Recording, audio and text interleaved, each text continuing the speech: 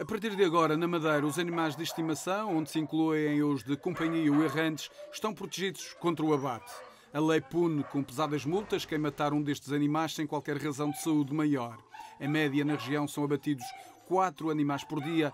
Também diariamente são abandonados oito. Os locais de acolhimento e os canis encontram-se lotados aquilo que temos vindo a fazer e já não é já não é não é a partir só a partir de domingo é, é, desde que desde há algum tempo que temos vindo a ter essa política é de não receber os animais para os quais não temos capacidade de alojar. A nova lei não permite o abate mas carrega alguns problemas. Por exemplo quem se irá responsabilizar pelos animais?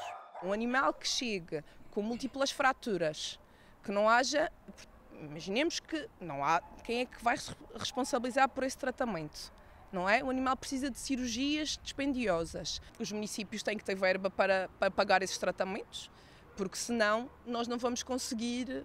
Um pouco é irreal, um pouco irreal. Sim, sim parece-me que sim. Parece-me que há um trabalho de base que tem que ser feito. A responsável pela elaboração da lei, veterinária e deputada do PCP, propõe um programa de esterilização abrangente, sensibilização para a causa animal e não entende quem critica a nova legislação. Há imensas críticas nesse sentido, eh, que, que não se deveria ter começado por aqui.